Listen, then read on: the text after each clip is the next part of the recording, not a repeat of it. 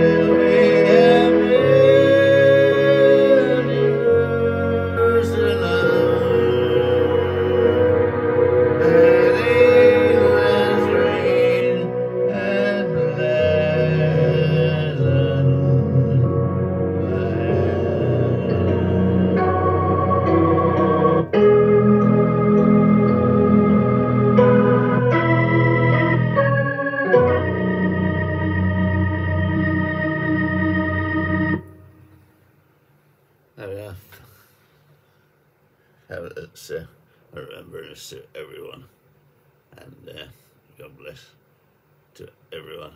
As I say, it's just a account of anyone who's passed. Please take that as our uh, condolence, if you like. That's the easiest word, isn't it? Anyway, it's one of those days, isn't it? It's, uh, it's a bit sad for everyone. We- We're back normally. Yeah, another couple of hours with tomorrow's. Okay. Right, take care. Be back soon. Bye for now.